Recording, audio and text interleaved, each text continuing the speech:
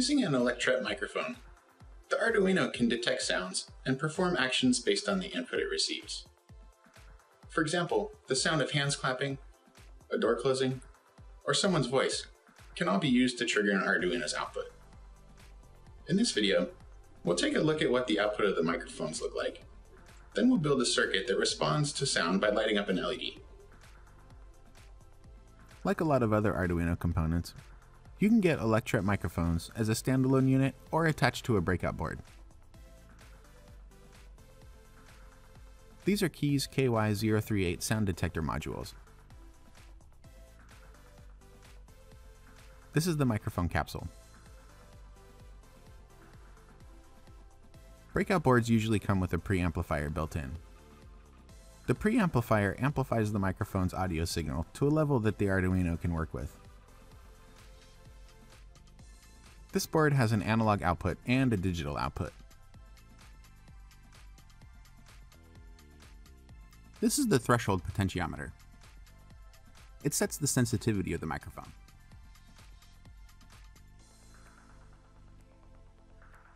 This is a standalone microphone. These are a little harder to set up. They don't have a preamplifier, so you have to connect one yourself. Electret microphones are polarized, so they have a positive pin and a ground pin. You can see the traces branching off of this pin. Those connect to the casing, so this is the ground pin here. And this is the positive pin.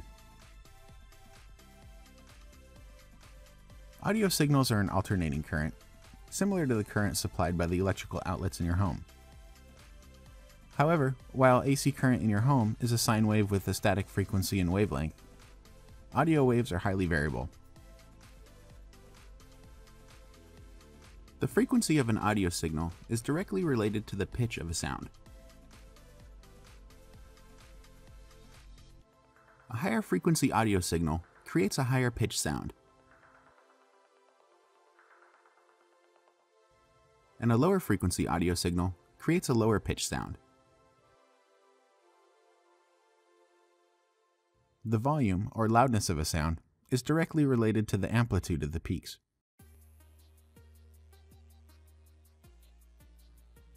A higher amplitude audio signal creates a higher volume sound. And a lower amplitude audio signal creates a lower volume sound. Another factor called DC offset determines the voltage at the waveform center. The audio signal swings up and down around the DC offset voltage. Now let's see what the raw signal from the microphone looks like without a preamplifier. I'm connecting a standalone mic to the Arduino like this. The ground pin of the mic connects to the ground pin of the Arduino. The positive pin of the mic connects to 5 volts via a 10 kilo ohm resistor. The signal of the microphone comes from the positive pin and connects to analog pin A0.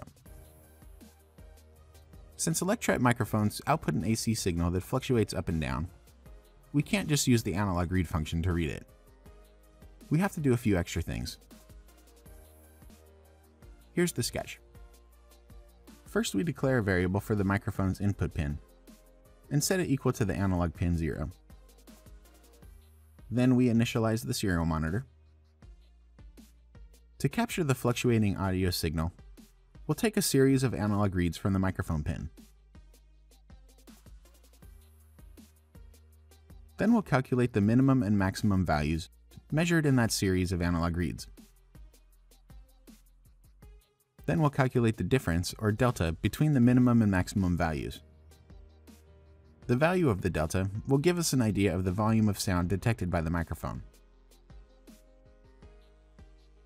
A smaller delta corresponds to a smaller amplitude in the audio waveform, and thus a quieter sound. A larger delta corresponds to a larger amplitude waveform and a louder sound.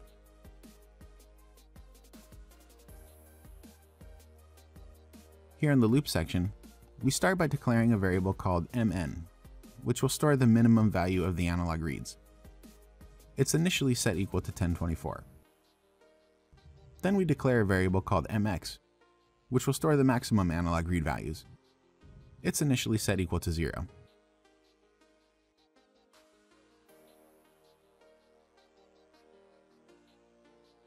Now we have a for statement.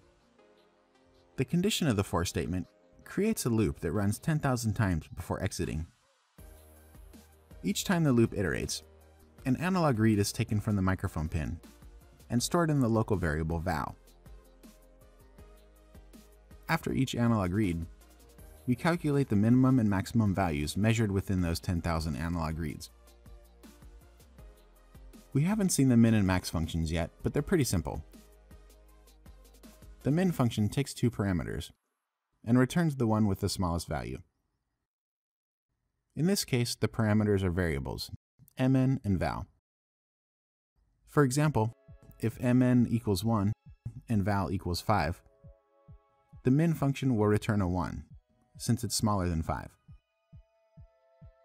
The max function works the same way, but returns the larger of the two parameters.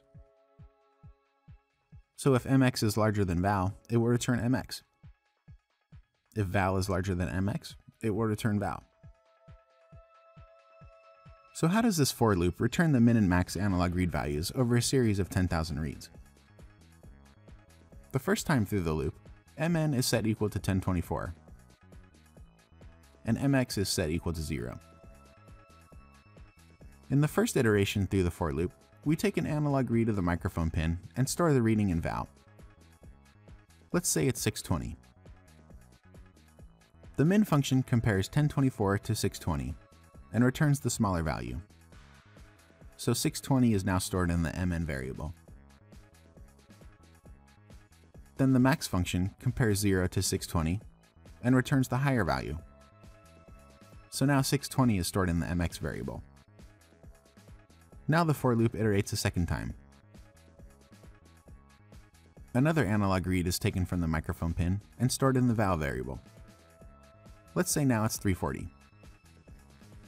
The min function now compares 620 to 340 and returns the smaller value. So this time 340 is stored in the mn variable. When the max function is executed, it compares 620 to 340 and returns the higher value.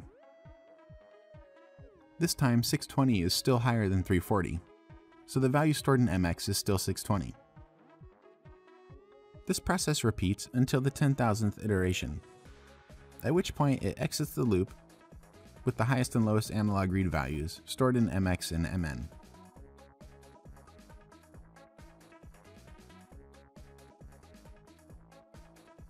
To get the delta, or difference between the highest and lowest readings, we simply subtract mx from mn.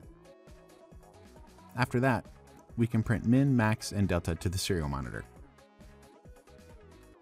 Alright, let's see what we get.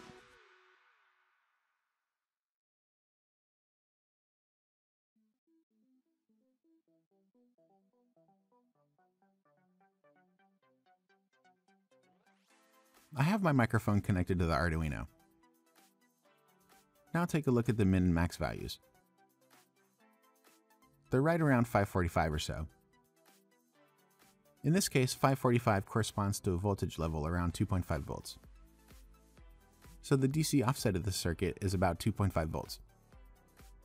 Now look what happens when I knock the table.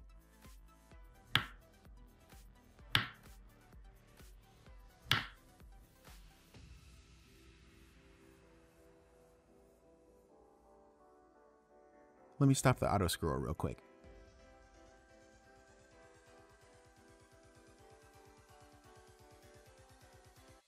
When that knock sound occurred, the min value decreased and the max value increased.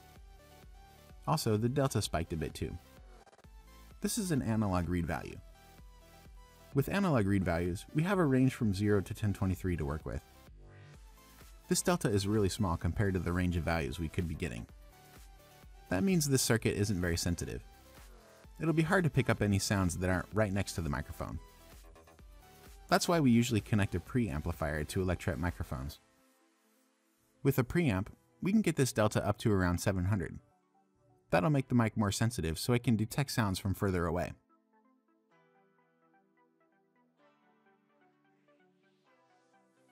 A preamplifier is a circuit that increases or amplifies a weak audio signal into a stronger one.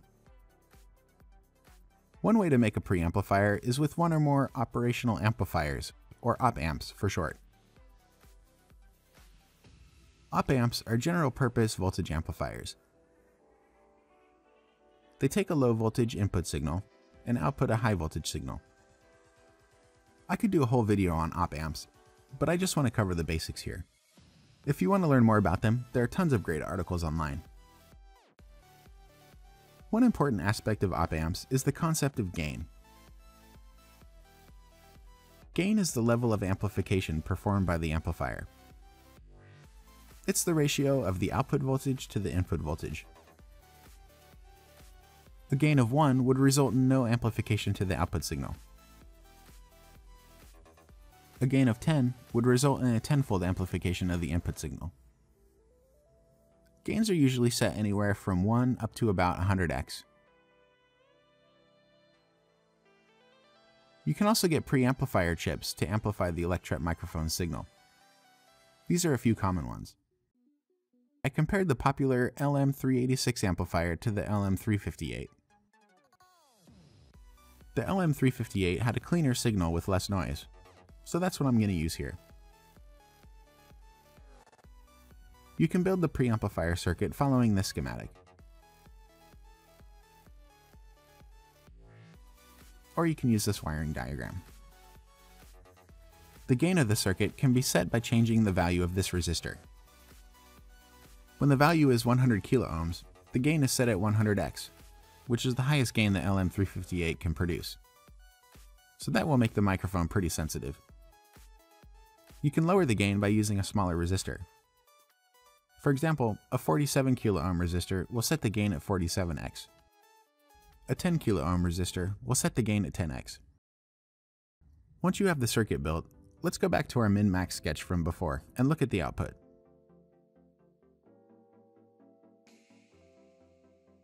This is the exact same sketch we used before. It outputs the microphone's min and max analog read values over a period of 10,000 samples.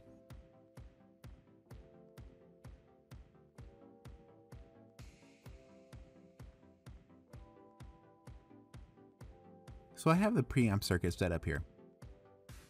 The output of the amp is connected to analog pin A0.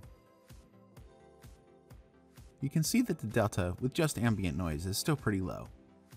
So the higher gain and sensitivity isn't creating a lot of noise.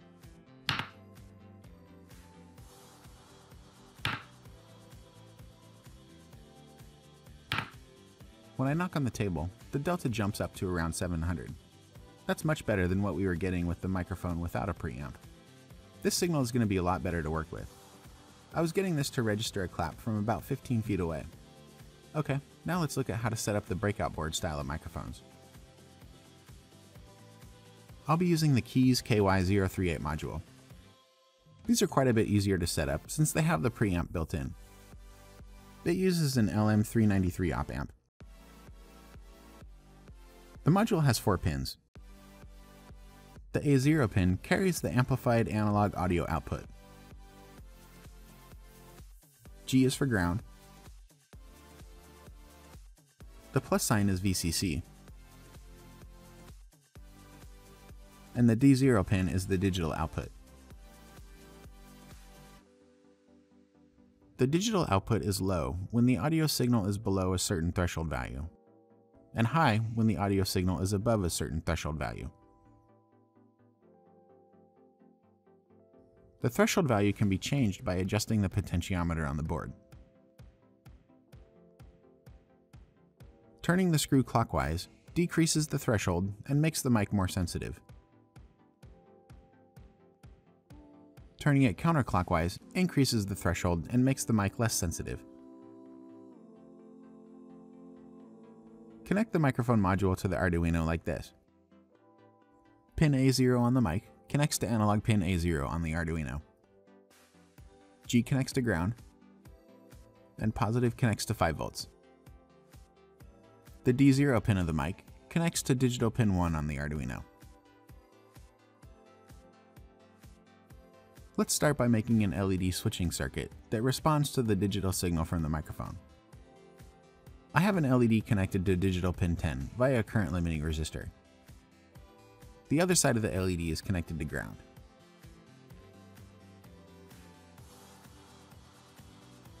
In the sketch, we're going to take a digital read from the microphone's digital pin. If the reading is high, we'll digital write a high value to the LED. It's pretty simple. Up at the top, we declare variables for the microphone pin and LED pin. We need another variable called state to store the high and low values read from the mic's digital pin. In the setup, we initialize the LED pin as an output, and the microphone pin as an input.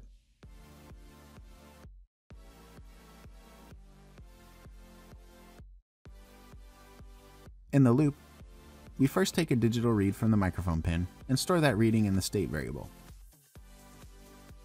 Then we have an if-else statement that says, if the microphone pin state is high, then digital write the LED pin high and delay for one second. Otherwise, digital write the LED pin low. Let's check it out.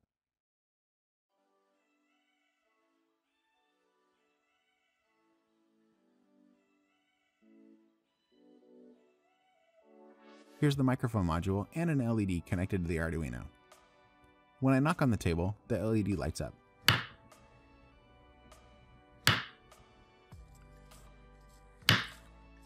Okay, good. So it's working as expected. Now let's look at how to trigger an LED with the microphone's analog signal. In this sketch, the Arduino will calculate the min, max, and delta values from a series of analog reads of the microphone. We'll use the delta value to trigger a digital write to the LED pin. First we declare our microphone and LED pin variables. When adjusting the sensitivity, it helps to print the delta values to the serial monitor. So we'll initialize that. Then we set the LED pin as an output.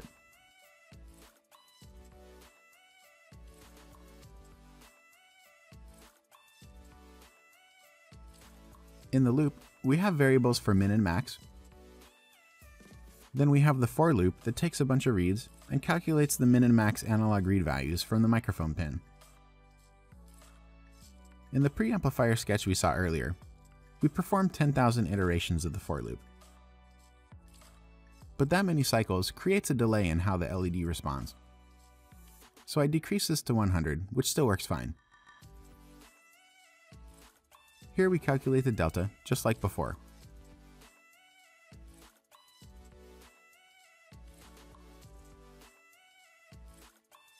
Then we print delta to the serial monitor. Now we have the if statement that controls when the LED lights up. If delta is greater than 200, then we digital write the LED pin high and delay for one second. Otherwise, we write the LED pin low. This number sets the threshold that triggers the LED. A lower threshold will make the LED turn on at a lower sound level, and a higher threshold will make the LED turn on at a higher sound level.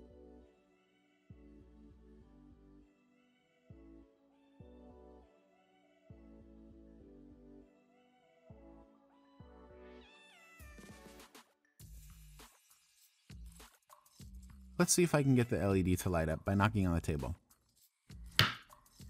Yep, there it goes. You can play around with the threshold to get the mic to respond to different types of sounds. In the next video, we're going to take a look at some simple motion sensors that will let you detect tilt and vibration.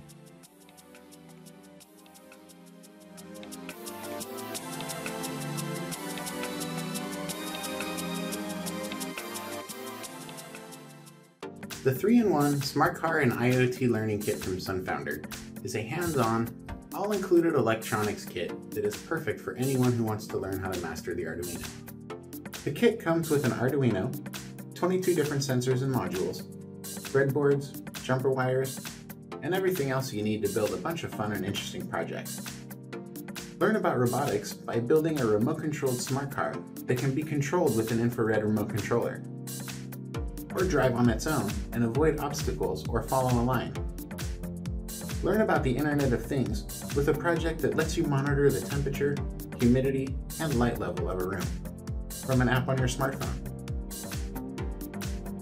And build a plant monitor that tracks the temperature, humidity, light intensity, and soil moisture, and displays it on your smartphone so you can keep your plants watered remotely. It's a super cool kit, and I had lots of fun building all the projects in it. So click the link in the description below to order the kit from Sunfounder.